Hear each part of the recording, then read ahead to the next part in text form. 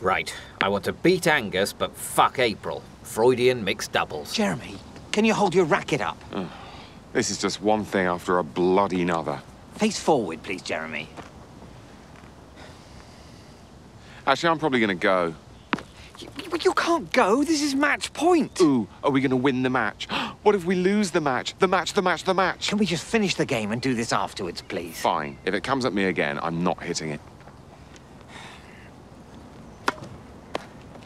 Unlucky, Angus. Welcome to hell, old man. Shot, Mark! Can I go now? Because I'm only here so you can fuck the historian, and I really don't see that happening. It's Angus. They've made up, and now he's everywhere. I invite her to the library. He offers to give us a lift. Tennis, he makes it doubles. I mean, just look at him, hogging his wife. The big, brainy, wife-hogging shit. Fuck tennis. It's basically bullshit ping pong for giants.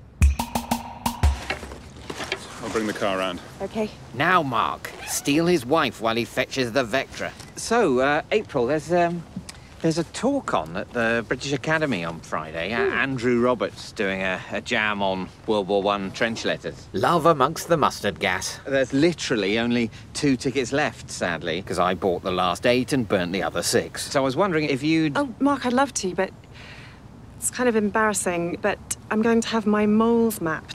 Oh? Yeah, I can get a little bit jumpy mole-wise. Freckle on the kneecap. That wasn't there yesterday.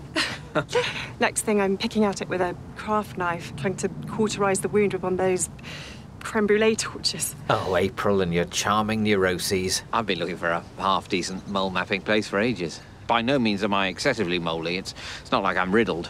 I'd just like a full body ordnance survey. Well, that's amazing, because not everybody's up for, you know, having their genitals photographed.